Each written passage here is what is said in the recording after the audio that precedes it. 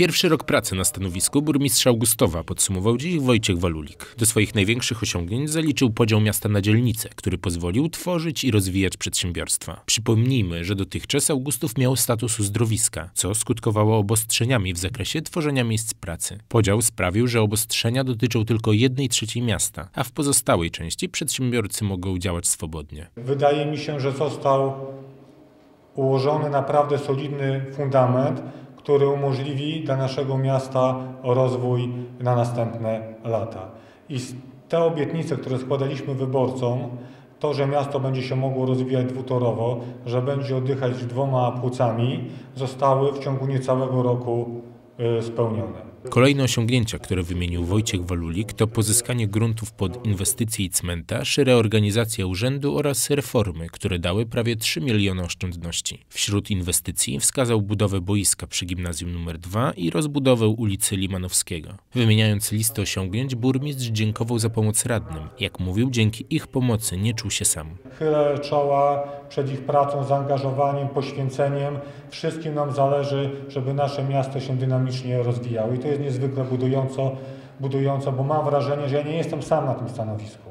Tylko ze mną jest duża grupa ludzi bardzo życzliwych, emocjonalnie związanych z miastem Augustów, po prostu kochających nasze miasto. Jednocześnie Walulik zapowiedział kolejne wyzwania. W 2016 roku augustowski samorząd zamierza poprawić stan miejskich ulic, wyremontować kolejną część rynku Zygmunta Augusta, zbudować bazę dla kajakarzy, przeprowadzić termomodernizację szkoły podstawowej nr 2, zbudować boisku przy szkole podstawowej nr 6, skatepark i wyremontować zamknięte teraz molo. W planie jest też uruchomienie budżetu obywatelskiego oraz zmiana siedziby Urzędu Miasta. Teraz Wydział Augustowskiego Ratusza mieszczą się w kilku miejscach, a za wynajem potrzebny potrzebnych lokali miasto musi płacić. Miasto e, płaci corocznie w granicach 100 tysięcy złotych za wynajem pomieszczeń właśnie pod e, filię Urzędu Miejskiego. W tej chwili w czterech miejscach znajdują się różne agendy e, Urzędu Miejskiego. Burmistrz chce, aby urzędnicy pracowali w jednym budynku, w obecnej siedzibie gimnazjum nr 1 przy ulicy Młyńskiej. Gimnazjum natomiast ma być przeniesione do szkoły podstawowej nr 4 przy ulicy Marii Konopnickiej. Jeśli miasto zdoła pozyskać na ten cel pieniądze, to przeprowadzka zakończy się na początku 2017 roku. Sam budżet na 2016 rok jest historyczny, bo przekracza 100 milionów złotych, z czego 1 trzecia to wydatki inwestycyjne. Zdaniem Walulika miastu towarzyszą sprzyjające wiatry i trzeba tylko tylko postawić żagle. Ja niejednokrotnie mówię, że 30-tysięczne miasto nie może funkcjonować samej turystyki czy nawet samego uzdrowiska. Musimy rozwijać się dwutorowo.